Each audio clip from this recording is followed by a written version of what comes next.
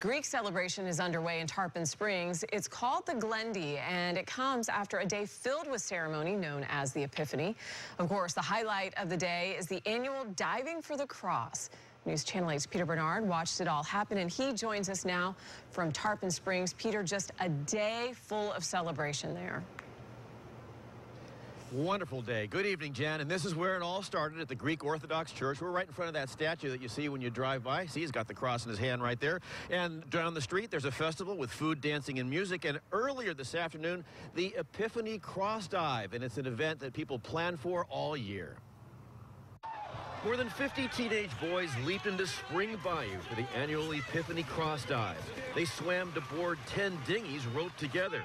At one point, so many tried to board one rowboat, it capsized. Thousands lined the banks of Spring Bayou to watch the spectacle, including the teens' parents. It's a tradition that's been going on for years and years, and just to see the kids, you know, the, now just you know, to keep celebrating, keep the tradition going is, is great. As the Archbishop threw the white wooden cross into the water, a frenzy of splashing began.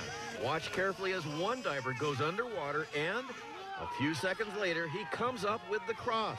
His name is Anderson Combs of New Port Richey and is a student at Hudson High. As is tradition, his fellow divers hoisted him high on their shoulders. Happy to be a part of the Orthodox Church, and I, this is such a, such a miracle to have. I'm very blessed.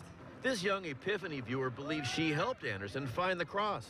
I just pointed where it would do it, and, and, he, and he got it. So you knew where it was? You saw it? And I got a cross for it. Oh. The church believes the one who retrieves the cross is blessed with a year of good luck. Got a message for your family today? Uh, I just want to thank them for all that they've done for me in my life, and I love them all. Compared to many previous Epiphany events, this one was fairly mild, but warm enough for a swim?